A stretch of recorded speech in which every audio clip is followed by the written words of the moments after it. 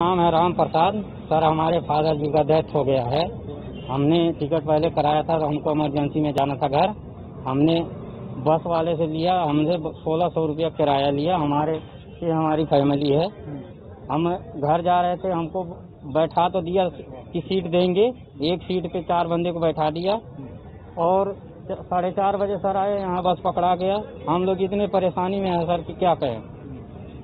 क्या?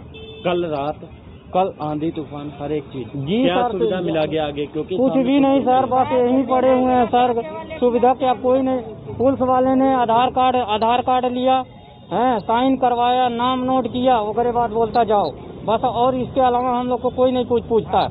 हम लोग कल से परसों से हमारे इधर हमारे फादर की डेथ हुई है हम लोग दो- दो तीन दिन हो गया आज। हम लोग तीन दिन से कोई खाना नहीं खा खाना नहीं खाए हैं कि हम अपने घर जाना चाहते हैं।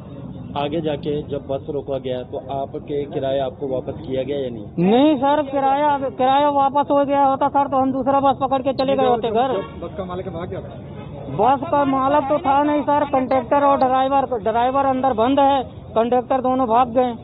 आगे क्या मांग करते हो?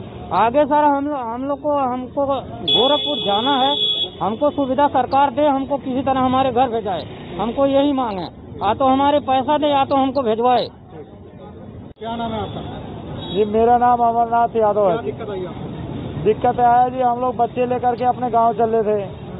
तो यहाँ के पुलिस प्रशासन जब वहाँ पे बस खड़ी थी जब नहीं रोका या रास्ते में आकर के हम लोग को रोक दिया। हमारे पैसे इना इना करके खराब हुआ है। इनके वजह से पैसे हम लोग का खराब हो चुका है। और ना पैसे दिलवा रहे हैं ना कोई हमको साधन दिलवा रहे हैं। हम लोग 24 घंटे से यहाँ से बच्चे लेके भूखे प्यासे धूप गर्मी में मर रहे हैं।